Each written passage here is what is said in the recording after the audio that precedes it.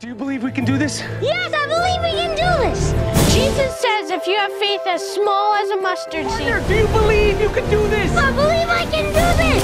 you can move a mountain. I can move a mountain. Want to move a mountain? There's one. Go ahead, move it. So the question is, what mountain do you need to have moved? One. Go ahead, move it.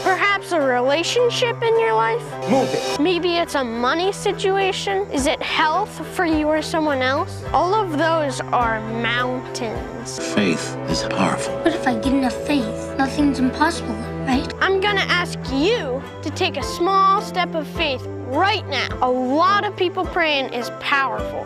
Down there in the comments, share your prayer request. You know, what's your mountain?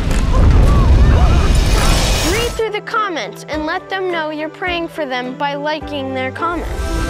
Was that an earthquake? We'll meet you this Sunday in the Eucharist, and above all, know how truly and deeply God loves you. Come on, people. You know what I'm talking about. Let's move some mountains, people.